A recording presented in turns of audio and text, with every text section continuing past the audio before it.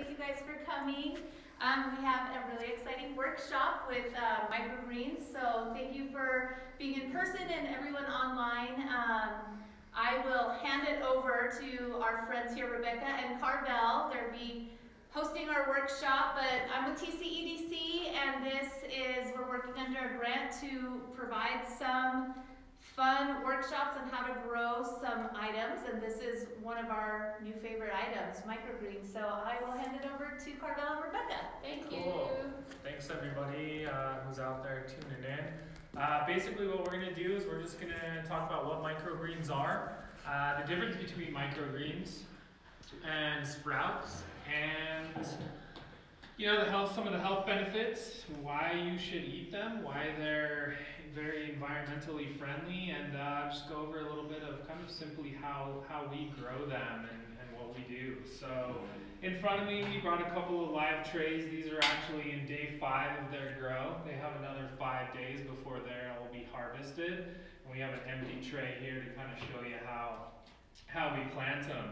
So, you know, first question, obviously, what, what is microgreens? What are they? Um, essentially, they are the plant in its cotyledon phase. So they sometimes people get confused with microgreens and sprouts, and basically the difference is the way that they're grown and harvested. So our microgreens are grown seed to harvest in 10 days, and sprouts are typically four days.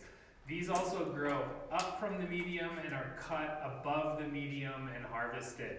Um, so that's the, that's the big difference. Um, and the health benefits, why you should eat them, they're anywhere from 10 to 40x nutrient dense of their mature counterparts. So for instance, this is our small retail package that's $5. This has amaranth in it, but the, this filled with broccoli has the equivalent sulforaphane of a pound and a half of raw broccoli. So the fact that we can grow that with a relatively small amount of water in a short amount of time and get that much nutritional value out of it, um, you know, it's just, it's huge. So, And on Um, our website, we have a link to a study by the USDA uh, that explains some of the scientific work that they did in the lab to analyze um, microgreens in their cotyledon stage, which is, you know, basically a dicot, the two leaves here. Um, this is the cotyledon stage. And this is when it is its absolute most powerful um, at this stage because it's requiring all of this energy uh, to grow up and make the adult version of the plant, right? So if you go to our website, it's uh, www.midoriacres.com. You can find a couple of links that speak to the health benefits of microgreens and um, the USDA study that is on, that they conducted on them. So pretty amazing things. yeah, and we're continuing to do more and more research ourselves and find out all the different varieties and their, their main nutritional uh, punch point, so to speak. Um, you know, broccoli high in sulforaphane, uh, antioxidants. We have learning more about our sunflower shoots, which a quarter cup of them has six grams of protein. It also has poly and monosaturated fats that fight bad cholesterol. So the list goes on and on. Again, we're learning more about that. Um, the cabbage, huge on gut health. And let's talk about how we plant them. So basically we plant all of our microgreens in these 10-20 flats. This one has no holes in it, and this one does. So simply said, we stack them together, we cover this in soil, we tamp it down, and we just sprinkle the seeds across the top. At that point, we water and mist them, and then we actually stack them on top of each other for three to four days in germination, and then six to seven days under the light. So these did four days, um, both of these varieties. These are our pea shoots, and this is our salad blend. Um, they did four days stacked up in germination, and today's actually day one under the light. And They're being little troopers because they're not under the light. They trip over here to talk to you guys, and then we'll get them back into their spot. Um, and then another five days, they'll be ready to harvest. Um, of soil do you use? we use organic MP uh, soil that we then repurpose into a compost pile and, and do into our outdoor garden. So And you say under the light, what, what light do you use? we use LED grow lights. Um, a lot of people use fluorescent, significantly less expensive. We made the choice to moved to LEDs because we run our entire farm off of a giant solar array. Um, that enabled us to continue scaling and also stay under that umbrella of what we actually produce so that we can grow all of our microgreens with 100% solar power. Um, And the seeds, where do we source the seeds? We source uh, from Canada. Actually, there's some U.S.-based companies, and we don't like to go so far. But um, price-wise, we, we order giant pallets of seeds, so we get and their their company is also 100% organic. So some, USDA certified Mhm. organic. some of the other companies you have to, to, to move through different seeds um, to pick organic, and these ones are all all organic. The entire company. So. We bottom water everything, that's why these have holes in them, you can see, um, the roots pop up Oh, wow. out under there. We So water it cool. on the bottom and the roots go get the water and pull it up. Um, we're able to, in that short cycle, ten day grow cycle, overlap our germination and growing so that we can actually harvest, uh, fresh produce every single week. So every single week, we're harvesting and delivering inside of our mission, which is twenty-four hours. Um, and some are, are even shorter.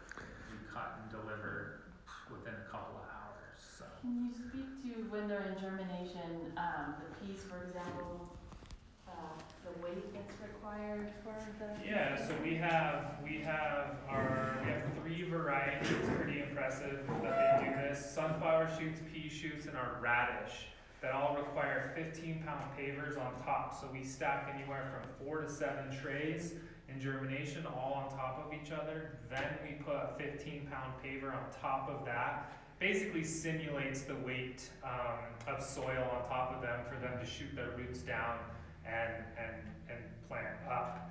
And at that point, I mean, in three to four days, I have to keep a close eye on it because it will push that paver. And we've had it multiple times just completely dump it over. So this will, you know, be a couple feet high when it's stacked with that paver and it'll push it and start to slide it all the trays over um, Really those, those varieties. There's lots of different, you know, kind of opinions and ways that people do it. We've studied a diff- some different ways. Some people weight all of them. Um, we find the brassicas don't need that weight. So the brassicas are all of our smaller, seeded um, microgreens, your broccolis, cabbage, um, purple kohlrabi we grow, Yeah. uh, bok choy, arugula, mustards. Um, yeah. And what about the trays? Do you get the, where do you get the trays as well? The trays are from a relatively small company, uh, Bootstrap Farmer here in the United States, and they produce all of them. And they're a little more expensive, but they're significantly more durable. Um, you have a lot of 1020 flats that are right on the edge of disposable, and as, as rough as we're putting them through week in, week out, um, you know, a lot of farms that, that do high volume trays use those cheaper ones, and they end up breaking them, and of course, then they have to be thrown away. And so we opted to get some, you know, higher quality ones, and we can still manage to break these ones too, but they much less. So they're pretty, pretty stout trays. And then in terms of watering, how often are you watering? We are trying to only water once a day, but I keep a close eye on that. That's probably one of the largest nuances to growing microgreens and the biggest thing uh, to learn. And in my opinion, really the only way to learn that is by doing it and making your mistakes. So you're gonna figure out what that is, but it's basically the trays are lifted up and then the water goes underneath and they, they suck it up from there. But it's a relatively small amount of soil that they're sitting in and the roots are in there. So what can happen relatively quickly is if they're overwatered, um, the soil will completely saturate, then you'll have the roots underneath just sitting in water. Um, and that's what we call dampen off. As soon as that happens, those roots will die and the plants are done. Um, and on the flip side of that, very quickly once they dry out, only in an inch of soil, they can flop right down. So as easy as everything is, that's the nuance. Um, and the, and the biggest thing, in my opinion, is, is learning that watering um, and getting that dialed in. And the only way to do that is trial and error. You know, everybody that's worked with me, that I've trained, first of all, I went through it. I screwed it up enough times that I figured it out. I teach them everything I know. I try to show them the weights. And again, the only way you can do that is, is just by doing it. They still go over and they make the same mistakes. But I have done it for so long enough now that as I go to water them, I actually lift. I'm lifting the tray up anyways, and immediately I can identify how heavy it is. Hmm. So I'll, I know exactly how much water it needs. So you're trying to uniformly water everything. We're doing 200 to 250 trays a week. So you know, some of that watering fluctuates and, and you have to catch it the next day. So something that's a little bit lighter that you didn't water as much, now it needs a little more. And on the flip side, that's where you're watering. Uh, mistakes compound as day after day. So if it's a little bit heavy and you water it the same amount, it's going to be oversaturated in, in that stack up of days. So if you fluctuate it a little bit, but you know what that is, you can catch it, and, and that's how you mitigate that. Could you grow microgreens in your home if you Sure, absolutely. Um, that's where I started. I actually grew them in the windowsill. Um, it's going to take quite a bit longer. Our, our, again, seed to harvest in 10 days is based on kind of optimal growing um, conditions as far as um, humidity and heat. But the best thing about microgreens in your home, I mean, microgreens simply said, as I say it, are humans. So what do humans like? That's what microgreens like. You know, anywhere from 30 to no more than hopefully 50 or 60 percent humidity and 68 to 72 degrees, which is where we keep most of our homes. So you can do that. You can get a little supplemental light. Uh, that's really going to help. Or if the temperature is good and you have a big enough windowsill, you can get smaller trays. Might take two weeks, two and a half weeks, but they will grow. And here in Taos, it can get really dry. So are you using a humidifier to help out, or no? No, we're the opposite, and we're Okay. that's one of our biggest uh, things that we're trying to dial in right now. We have a giant commercial dehumidifier that's Ah. still struggling to keep up. When you get 200 trays all being watered in a relatively small space, um, they create a lot of humidity. They also create a lot of heat as well. Hmm. So you know, we're in our shoulder seasons. We have you know a mini split in our farm, and you would be assuming you know when it's 40 degrees outside that that you would have the heater running to keep that building up, and it's the opposite. We have the AC running because they're producing so much heat. Wow. So we don't really start kicking in the heater until the winter. And even at that point, it doesn't have to kick very hard when they're in their growth cycles because they're producing a fair amount of heat themselves. Huh. Um, so yeah, you know, as far as you know, building out a farm and, and stuff, it's really becomes down to your your airflow, your humidity, and your temperature, and all of those are going to vary based on the size of your farm and how many trays you're growing. So once you kind of figure that out and get that in there, and then the main thing is consistency. So you know, for us, we've been running higher humidity than we'd like. However, we know what that humidity is, and so we're able to ha- have the airflow and running that constantly. We, we know what to expect. If you start fluctuating temperatures, airflow, and humidity, then that's where you're gonna run into some issues. Or really, if you have a problem with your grow, you won't know what it is because you're fluctuating those conditions. So would you say that's your biggest challenge is the humidity factor in the growing process, or what would you say? For us at this point, yes. Uh-huh. But, um, you know, again, we've got it pretty, we're running it at about sixty percent.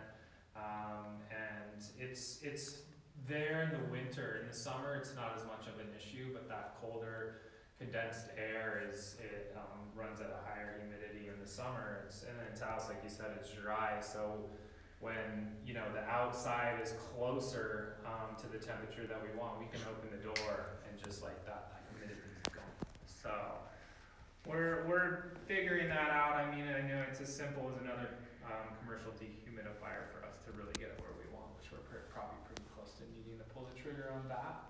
Um, as we progress up, that's the other thing is the trays move up. It's just all changes a little bit, and we've been scaling at such a fast pace. We're at a year and a half now, and fortunately for us, and we're happy to get it out there to the community, but the demand has been very high. So very seldom through my experience scaling have we had very similar um, conditions. You know, over the last maybe six months, we've, we've plateaued a little bit, and we've actually tried to do that so that we can dial everything in. But when you're going from 20 to 40 to 60 to 80 to 100 to 120 trays in a short period of time, where the where the build out is and everything, those those conditions are going to change. And our farm right now has a capacity for 256 trays. We could bump that up a little bit, but we're only growing, you know, roughly 200. And if we go from 200 to 250, the humidity, everything's going to change, even in the footprint that we're at right now. So. And what's your recommendation in terms of number of trays you start with as you're learning? Um, for just for personal grow, or for, or, or if you're trying to actually start a farm.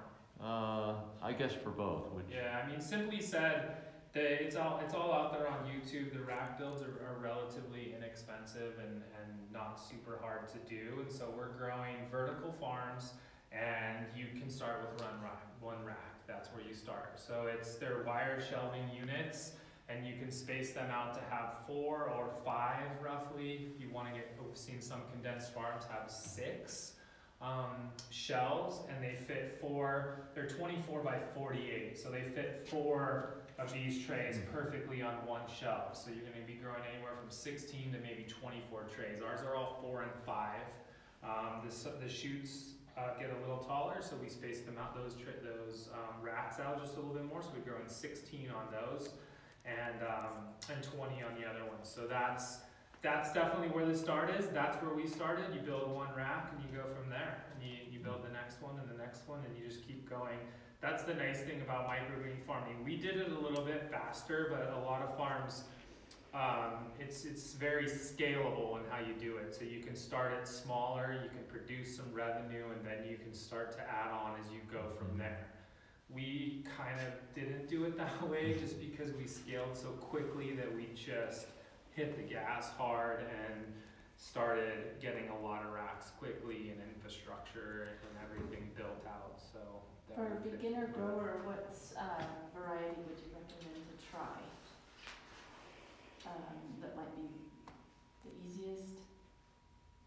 I mean, the only ones that are can be very you know, there's only a couple that are really challenging. So you're gonna really start with the ones that are the most popular, the most especially in a commercial setting, but then there are also some of the highest uh, nutrient um, densities and most popular out there, and that's sunflower, radish, maybe some kind of salad blend, which is what we have here, and what's the one that I'm forgetting? Peas, peas peas, sunflower, radish, and a salad mix. So Is there a difference between the shoots and the brassicas as far as when you plant it, you have to like soak seeds for the brassicas or?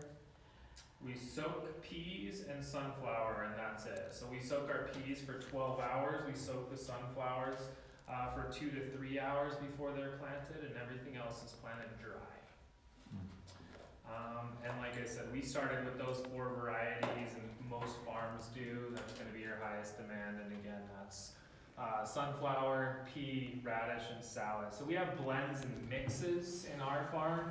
A blend ultimately is the seeds are mixed together first and then planted across the tray, which is what this is. So you have five different brassicas in this salad blend, and a mix, which we do a spring mix, and that is literally everything that we grow, where it's all grown separately, then we mix it in a Mm. tub, then we package it and send it out. That's one of our most popular um, varieties now is actually our spring mix. It comes in a slightly bigger container.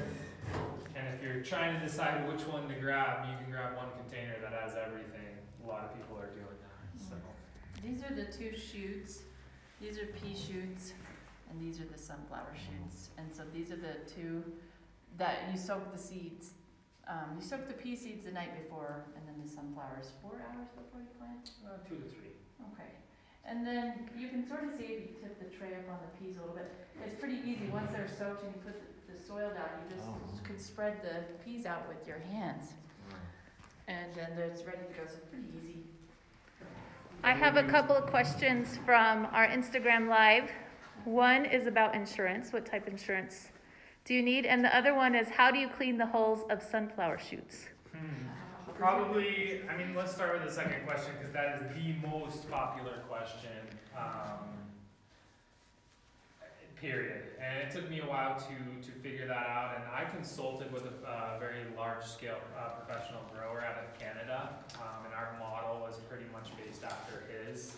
And basically what we do, the sunflower holes are a battle, they're the most labor-intensive and they're the most popular, um, variety that there is. But what we do, um, and, and we're doing it on a large scale, so it's different, it's just a little easier. Some farms that, you know, if you're growing forty trays in a week and only six of those are sunflower, it's not as big of a deal. We grow anywhere, again, being our most popular, forty to forty-eight trays of sunflowers. So getting the holes off of all those trays, the way that we do it is we germinate them, uh, for three days, and then we have humidity domes that we put on top of them. So we then top water them um, to get those seed holes wet, and then we put a humidity dome on top of them.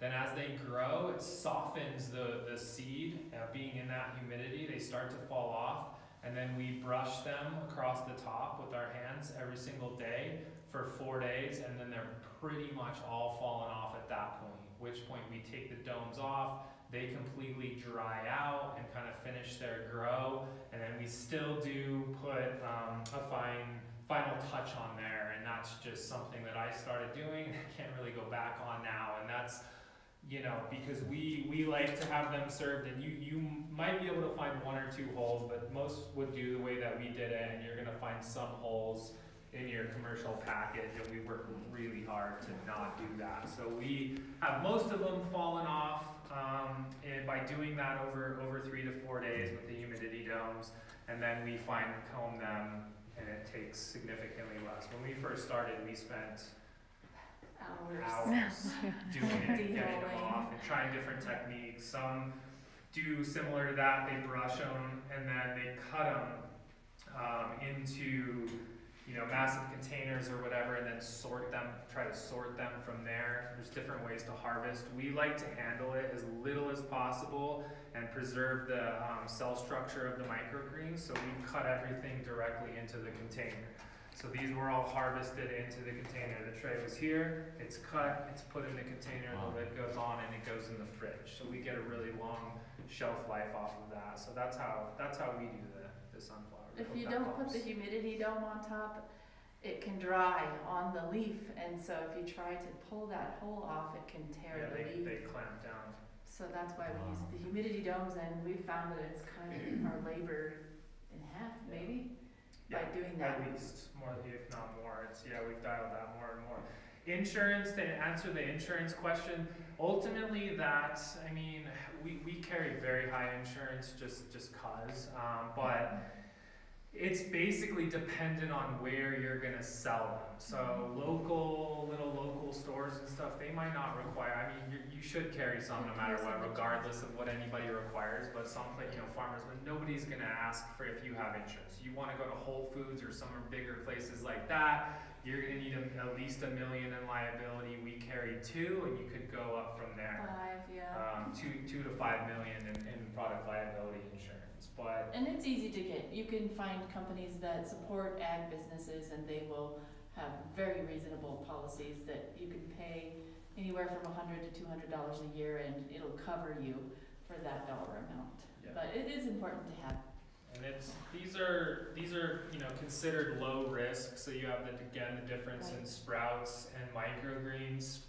Sprouts are significantly higher risk because they're grown in their medium. Their medium is water, but they're grown in that medium. And then you have the, the seed hole, the root, um, and your sprout, which is they do that in four days.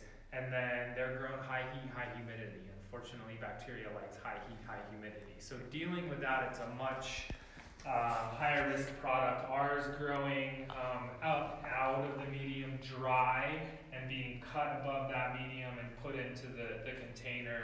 It's just a whole nother um, thing that's kind of why they're they're taking off. there. And, and how is the cutting, how is the cutting done? What is used to cut it? We just use a relatively inexpensive, uh, very sharp knife. Um, it's blunt edge. Some people do, you know, scissors. I've heard of. I never really understand that, but it's again, it's slightly nuanced and it's cut Um, you know, we basically, I grab the microgreens and, and with that sharp knife, I'm able to just cut them and put them directly into the package.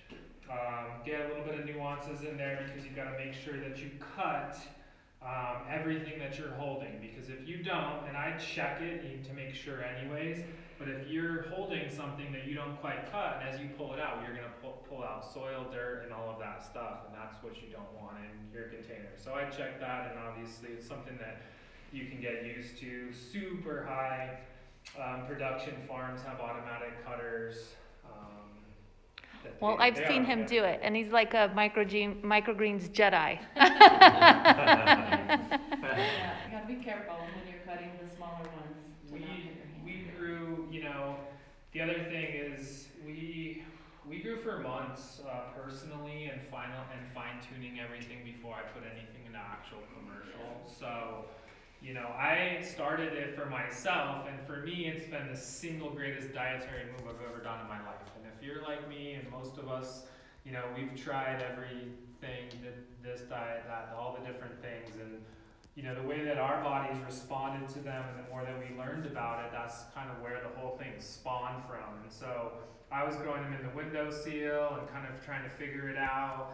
And then I was able to touch base with SIDS, um, and, and they were very interested. And that's when I started learning um, the real commercial side of it from growing, growing properly, growing safely, sustainably, the containers, the pricing. Our pricing is very aggressive for both restaurants and um, consumers in the in the world of microgreens. We're really trying to get it so you can incorporate it into your diet. And so, you know, that's that's how we started, and we probably grew for three or four months, five months, um, just trying different things, learning all of those uh, different techniques to, to do that. We planted our first commercial grow that we were going to put into put out into the world and we planted 24 trays and it took us eight hours now we plant 200 trays in four hours Wow.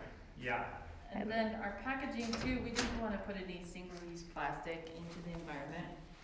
And so we decided to get our packaging from a company called uh, World Centric.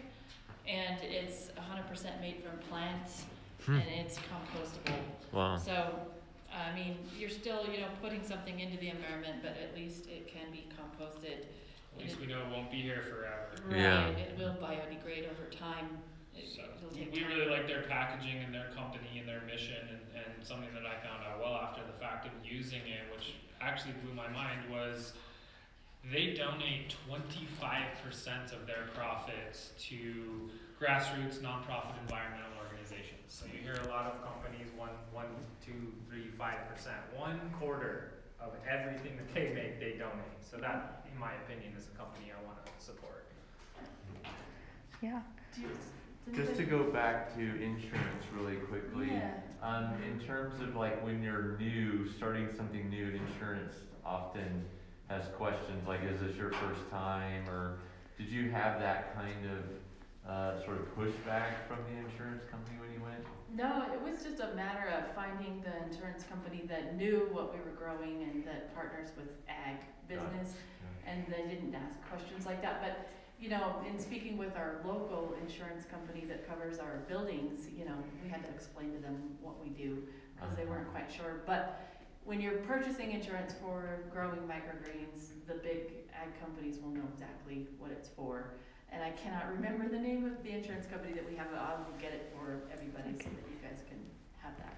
Awesome. And it was the, the health inspector, who was it that you spoke to about, but just the licensing, like as far as? Oh, yeah, so I called the, uh, state ag department and then I also spoke with, um, you know, I used to be a food safety inspector and so I was concerned about any regulations around, Mhm. um, producing these and harvesting them and, and getting them out into the world and, um, they told me that sprouts are heavily regulated and so they wanted to make sure that's not what we were growing. And they said that microgreens are not, just Ah. because you are And cutting. they basically backed those questions in to see if you knew, to make sure that you were growing microgreens and, and not sprouts, even though they knew the questions were, you know, all around, like where's the medium, what, you know, are Yeah. you growing sprouts or are you growing microgreens? So The food safety concerns are really minimized because you're cutting above the soil line and the soil is where the bacteria are, that could cause foodborne illness, but, um, and then of course they want, you know, proper hand wash sinks and three compartment sinks in the barn, which we have.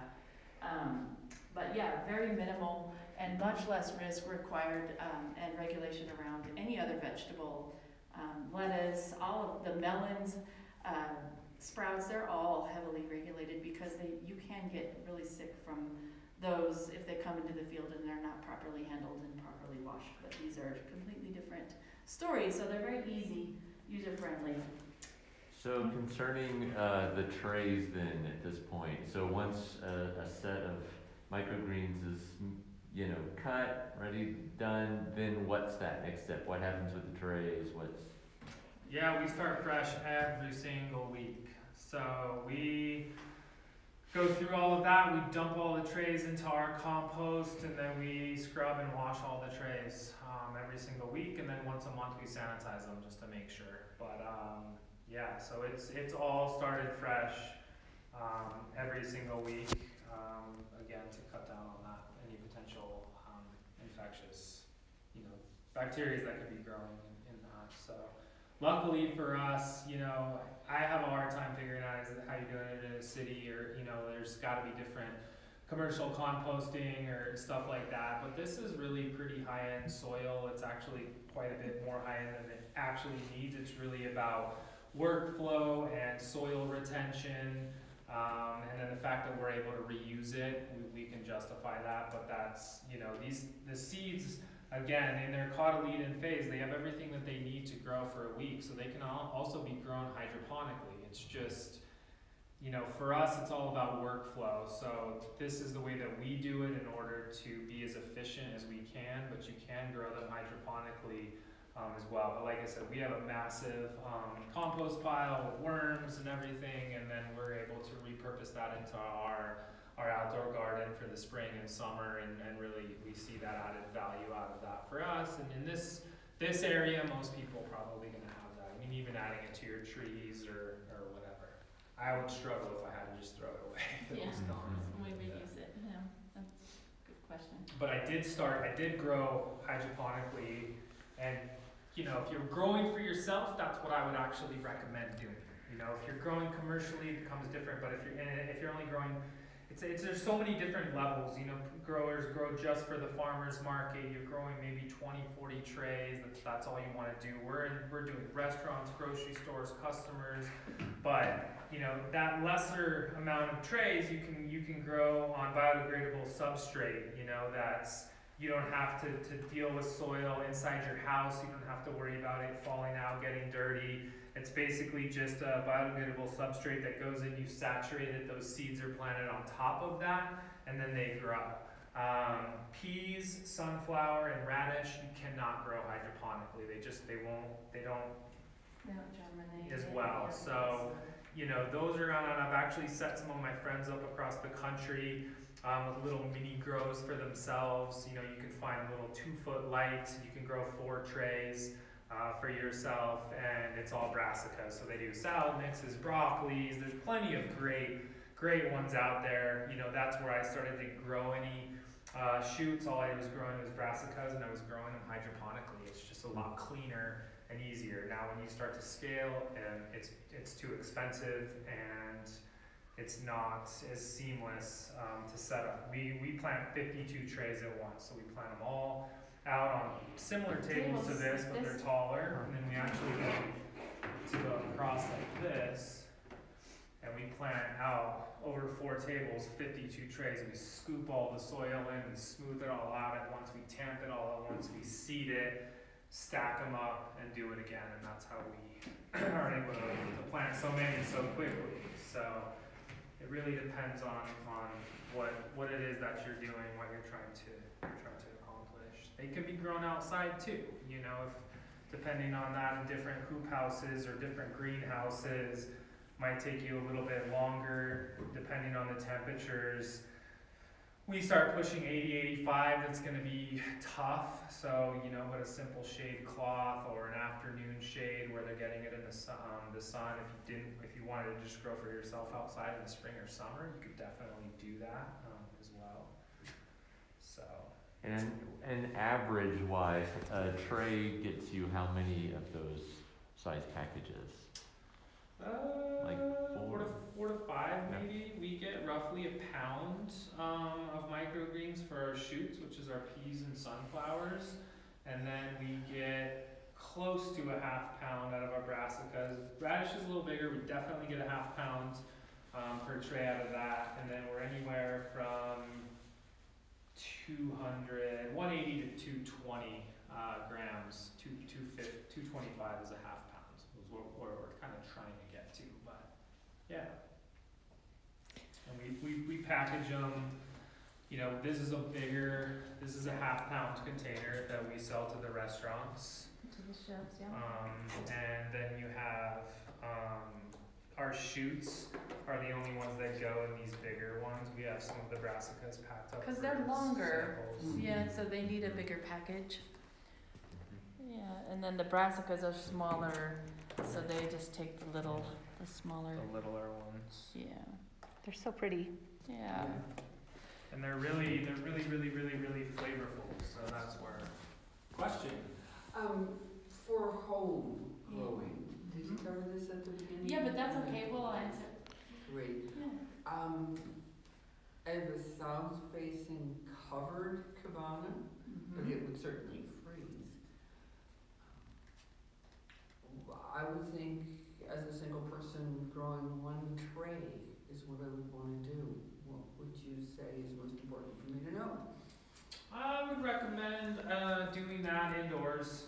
So I would find um, a shelf somewhere, uh, you know, that, that you can that you can utilize in a separate room or somewhere, and then I would purchase grow lights. So Sunblaster makes really nice grow lights, um, two foot, um, and one tray, I mean, you you could definitely, I mean, definitely be able to grow two, so I'd say give some to your friends. Grow, grow two, two trays a week, you really want to turn it over, that's what we do. So we plant um, uh, three to four days pr- prior to, um, we, we overlap it. So we're harvesting on Wednesday, and on Monday, Sunday, Monday, we're planting. So then everything um, and then they're all they all can be a little different. Rule of thumb is pretty much four days germination, six days lights, and harvest.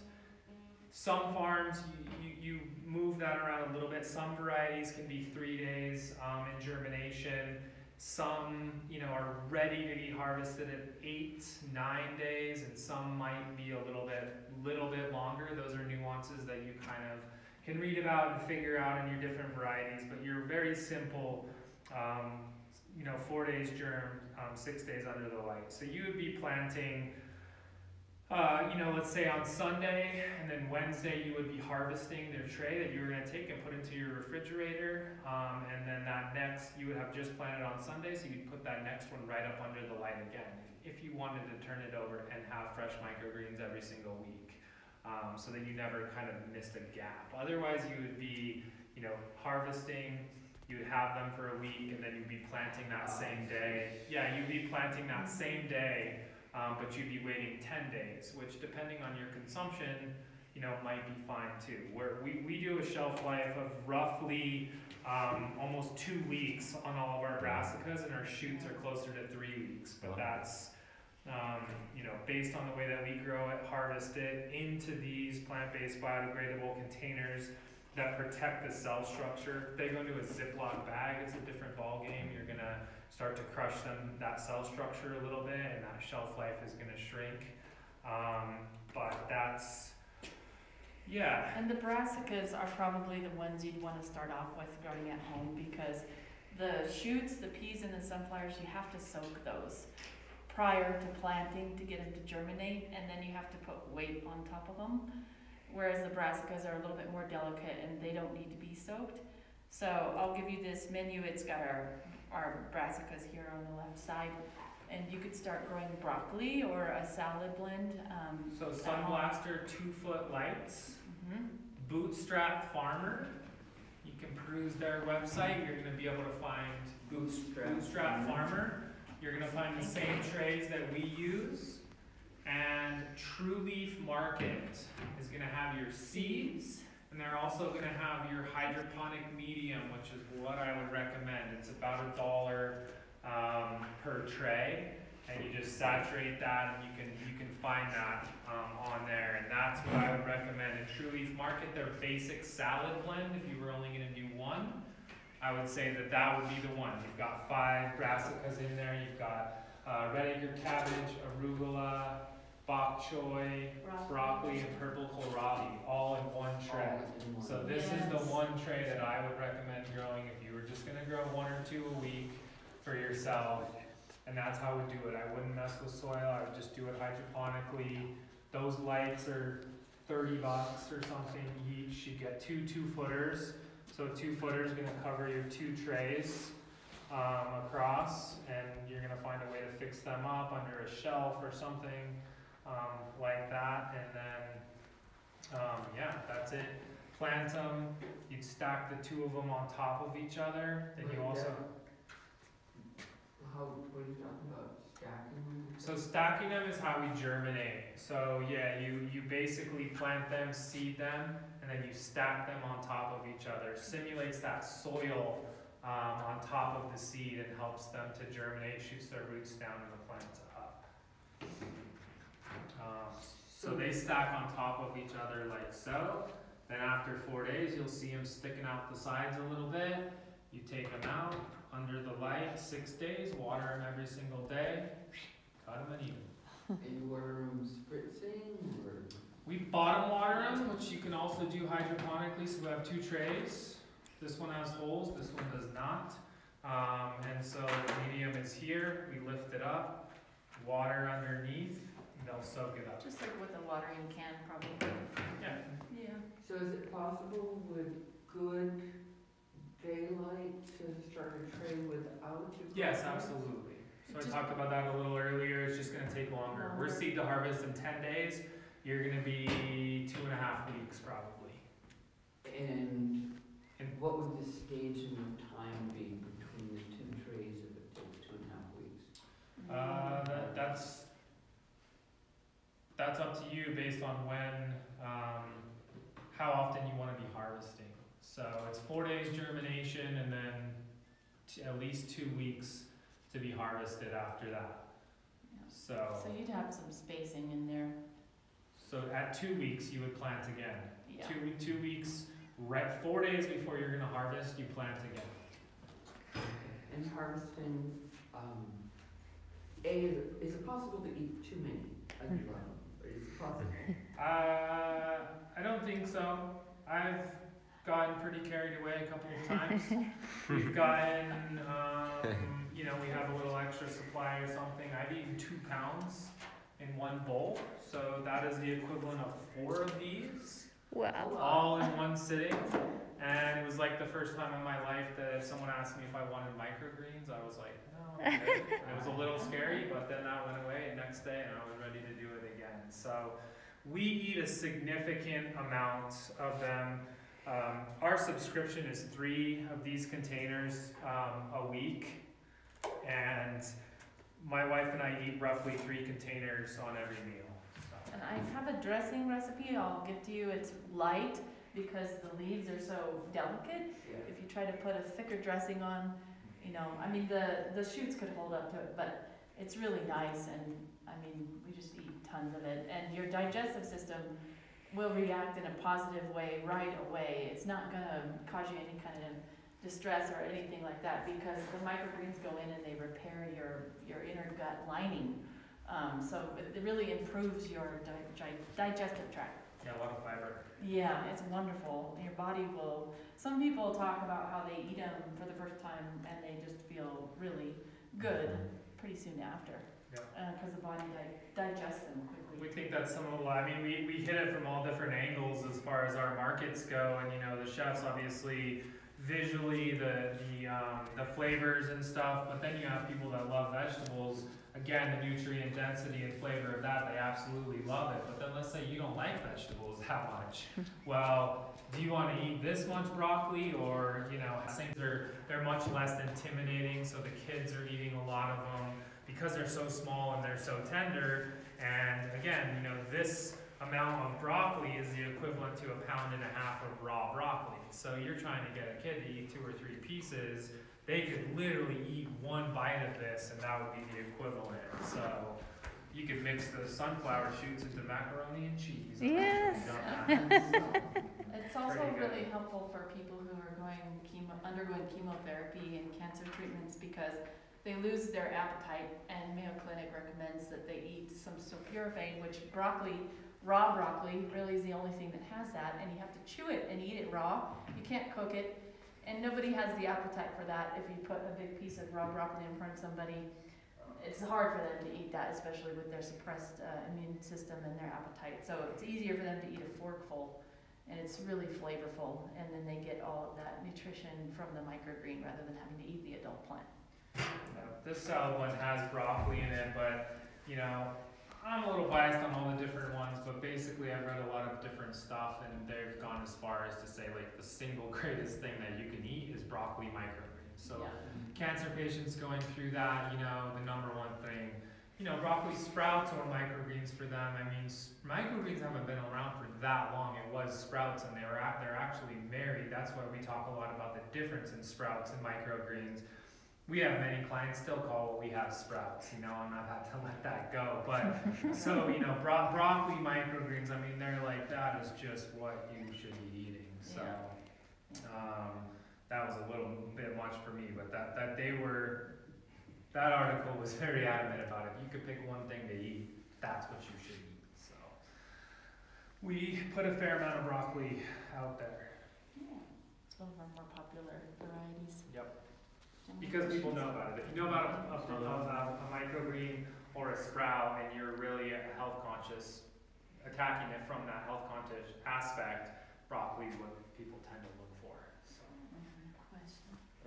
Um, uh, are there any like um, improvisational uh, containers that you could use? Um, like, let's say you just like if you're not doing it seriously, but just wanted a tray or something, and like you just have something laying around the house. And I like to reuse some things every now and then. Um, so.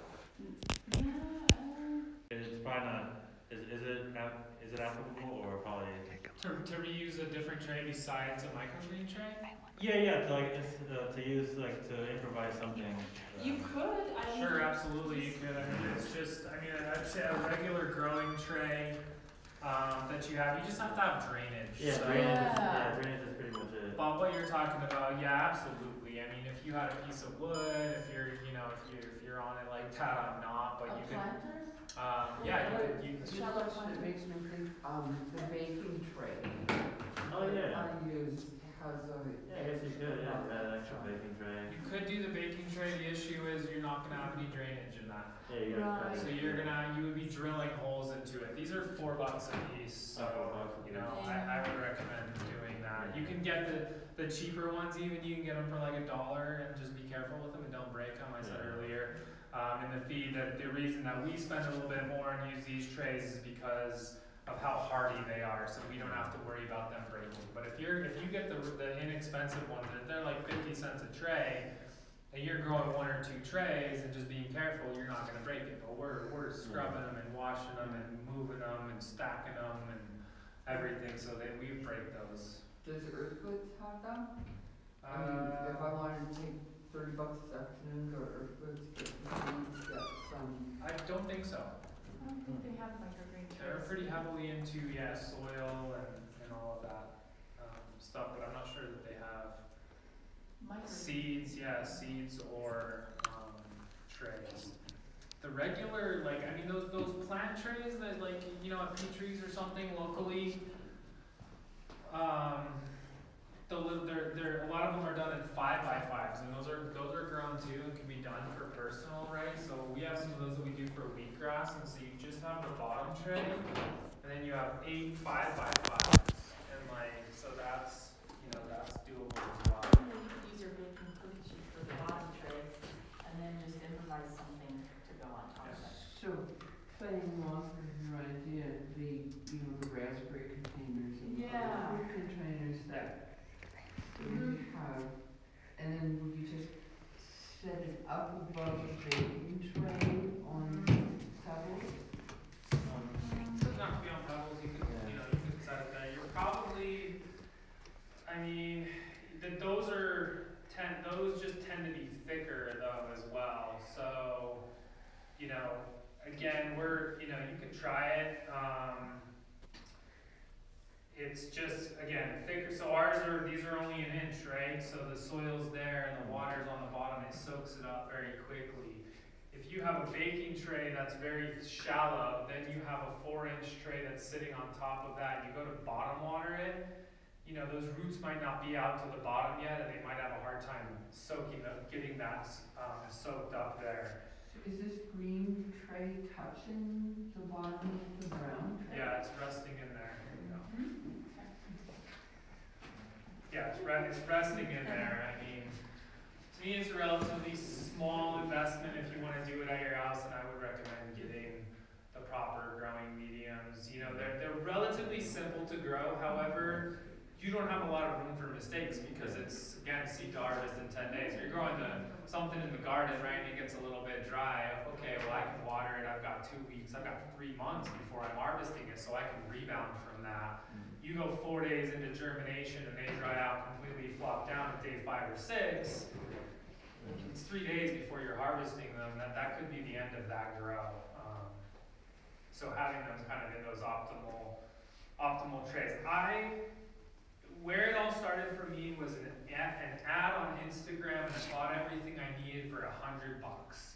No lights, and I did grow them in a windowsill, but it took significantly longer. I had no idea what I was doing. I didn't even watch a YouTube video, I just, the pamphlet that it came with, I was like, okay. I didn't understand seed densities, that was the other thing that we didn't talk about. I would just say rule of thumb, roughly twenty-five grams for the brassicas is your dry seed weight. For Um, that size of tree. Yeah, for a ten-twenty tray, a ten-twenty flat is they're, they're, they do vary and everybody has different opinions. That's something you can look up online. Um, you know, we, we plant anywhere from 22 to 28 grams depending on the variety in the brassicas. Most of them are 25. Broccoli's 25, the salad's 25, purple kohlrabi's 25, or cabbage is 23. But again, those are nuances that we have dialed into exactly what we want. You, we like them at 22 grams. You plant it at 25 for yourself at your house, you're not that. You're And you just spread them out by hand? We measure them into a little small cup and then, and then we shake them across. So you Um, get your shaking, you, you develop the right. Shaking pattern. That's a technique for sure. Yeah, absolutely. So I got, like I said, that grow pack for me, I think was a hundred dollars and it came with the, the, um, biodegradable, um, growing substrate. It came with ten trays and they were the like fifty cent trays, like those are the super cheap plastic ones, which again, if you don't beat them up, you can survive those. Um, came with like a little misting bottle and a few different packages of seeds. Again, no, um, no shoots and no uh, radish because those, those really need to be grown in soil. They have to have weight. It's just kind of another thing. So just for a home grow, I'd go with brassicas and you can find those starter kits. Um, True Leaf, again, Mark, I, I really like them. They're a relatively, again, smaller company. They're US based. Everything's done in the United States. They have both options for organic and non-organic. They're my backup plan. I, I do actually a fair amount of business with them. If they, if, if my big commercial seed company doesn't have what I need, um, then I go to them and I get it. Some smaller, different varieties. If the price is right, again, like a mustard, I get it from them. Uh, the substrate they have, much smaller packages, really high quality seed, great germination rate. So that's that's where I would send a, um, anybody to do that. True Leaf, True Leaf, yeah. And and probably, you know, you- like I would look at their grow kits. Um, they probably have some inexpensive trays, and uh, instead of you know trying to piece everything together, kind of the way that I said, I think you could, you know, maybe a hundred bucks, maybe less, um, depending on the size. You could just have everything you needed. You know, we're gonna send you the substrate, the trays, the medium, the whole thing. Might even send you a little flyer says, hey, this is So how often do you change the substrate? Is that, every time. Yeah. The roots will grow into that and and just take it over, and then you can throw it into a compost pile. Um, and you've got to start. You've got to start fresh every single time. Um, that's what we do as well too. We dump all the soil into our compost and we start over. Did you ever try mushrooms? Uh, I've thought about it, but that's a whole nother world. Yeah, so um, what, what exactly is a substrate and you, you can't grow without it or it won't, or won't, or probably won't do it efficiently or? Yeah, like the substrate is just it's just the medium that it's in, right? So substrate is soil, or these organic ones that are like biodegradable mats that are like they're hard and crispy at first, Yeah. and then you water them, and they and they kind of plump up, and they they have um, water retention. Again, that's a lot of the microgreen soils and different stuff, just the right amount of drainage, but also retention as well. So. We use Promix MP, it has mycorrhizae in it, Oh. um, I brought a sample, you can look at it, let me get it by the pallet load, Uh, yeah. So if you hydroponically don't have a substrate, is that correct? I guess the mat would be considered the Yeah. substrate. Yeah, that, that's It's just kind of like a thin mat, and True Leaf has those. And it's like, it almost is like paper or those dish rags that you use it reusable and you get them wet and they kind of clump up a little bit. yeah. So that's involved if you're doing hydroponics. Yeah, you would just lay that down. That's what I would recommend for you.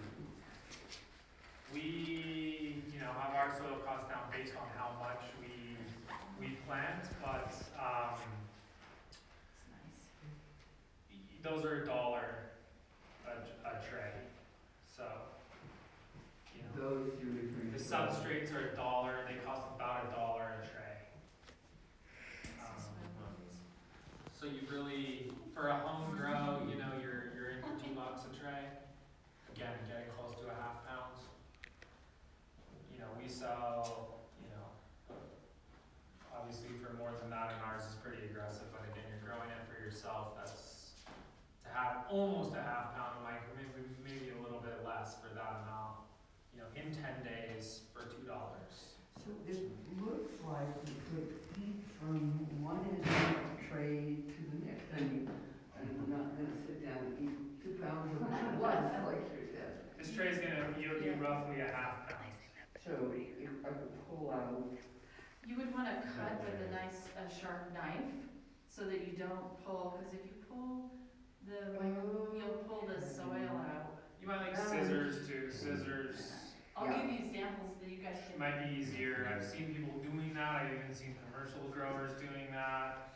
A lot less risk that you're gonna cut your fingers, so, you know, they have gardening scissors and stuff like that, you grab it and you just cut it. and Again, one or two trays. You can have that as a sample. It's really good.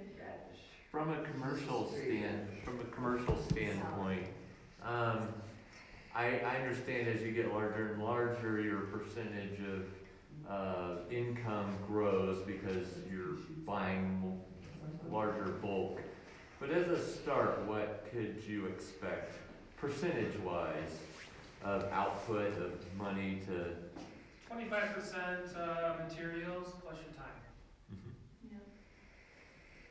Yeah, because as you grow, you have to buy more shelving and lights and soil and seed and. Right. It's gonna be the same It's- for, for a small commercial grower and what I was describing to her, you're gonna be two dollars to two dollars and fifty cents a tray, depending on how you're doing it. You know, again, the, the soil, um, depending on what type of soil you're using and, um, or, or a substrate, um, yeah, so. And then you're, s- and then you're getting about five containers out of one of those trays. Yeah, we're trying to get in the neighborhood of fifteen dollars a tray, Tray, fifteen yeah. to eighteen dollars across all our fields though. Uh-huh. So it's, again, it depends on that, we're spanned across everything, not a lot of growers do that, they focus on farmers markets, only restaurants, only grocery stores, we do it all, like we do, we deliver it directly to customers' houses, um, on a subscription model, we sell it to multiple grocery stores, um, and, and the restaurants as well, so. The only thing we don't do is farmer's market, it would be lovely if we could, but we just, it does require a lot of time, um, you can't just leave, you have to be around all the time, and there's something to be done every day on the farm, so it's hard for us to get away on a weekend and go spend a weekend at the farmer's market, but maybe one of these days we'll get there. It's, it's pretty labor do you have an apprentice program at your, at your own personal? We don't yet, but we're, you know, as we continue to, to scale and grow, we're definitely potentially looking for, for people that are interested in, in working and learning, Yeah. learning the business for sure, so. So is it just you two doing all the harvesting and growing and, or you have? And Uh, one other person. Yeah, one other full, Yeah. full-time person, There's that's, three of us. I've been, been training and doing that. But we've talked about, yeah, internships, you know, and maybe some, somehow coming up with some funds for that and having students that are in ag, um, in the state of New Mexico that are interested, we would love to, to have them come and, and help us out, work on the farm. Uh, Definitely, we, we've not, um, we haven't, we have our very, five thousand square foot, um, outdoor garden and we're working on potentially expanding that as well.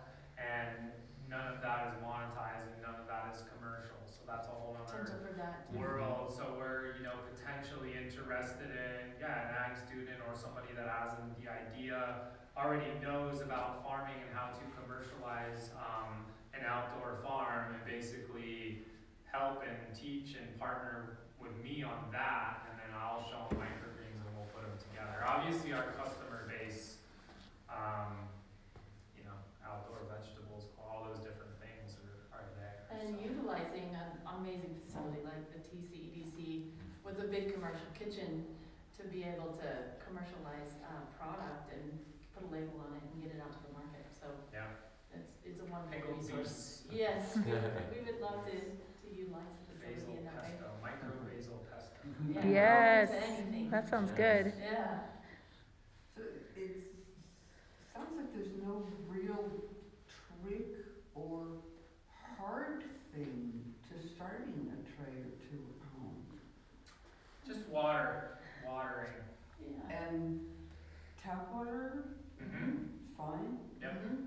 Pretty much if you can drink it, they're okay. Again, earlier, and I said, the, the microgreens are very similar to humans. So if you can drink the tap water, you're good. They like humidity similar to humans, and they like temperature similar to humans. So 68 to 72, where most of us are comfortable, um, you know, and 30 to 40 percent humidity is why we're comfortable. I think if you were gonna grow them in the sun like that, you just wanna be careful that they don't get too dried out. Mm-hmm. And the house had it get colder, like down to sixty-two at noon. Yeah, they don't like the cold so much. They, they, they're, it's all just gonna affect your timing.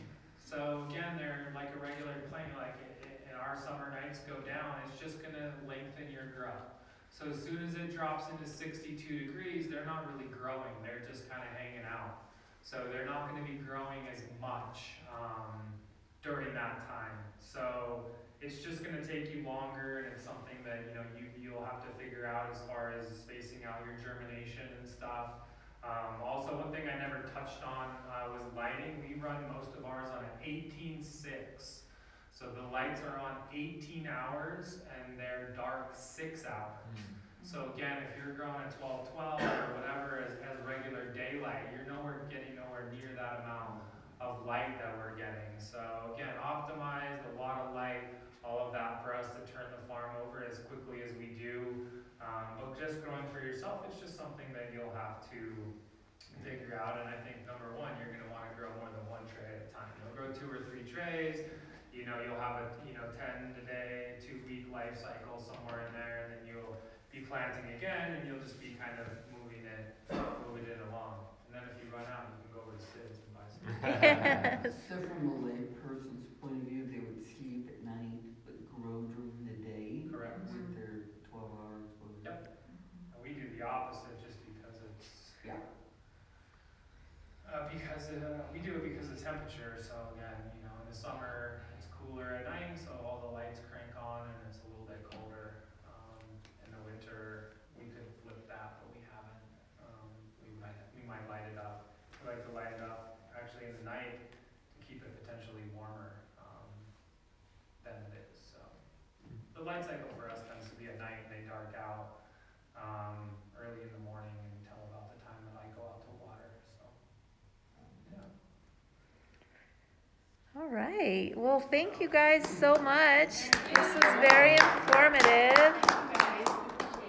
Yeah. Um, Well, for for those of you that are here in person, and I will make sure to send you online the forms, if you could just fill out this form for us, it helps us at TCDC to, we're working under a grant to provide these workshops for you.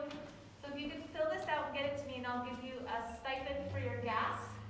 Um, and then I have some other information, you know, we're working with people, if you're interested in starting to grow. Um, there's a lot of programs, there's a hoop house that's available through the, through some grants, and so we're here to help growers.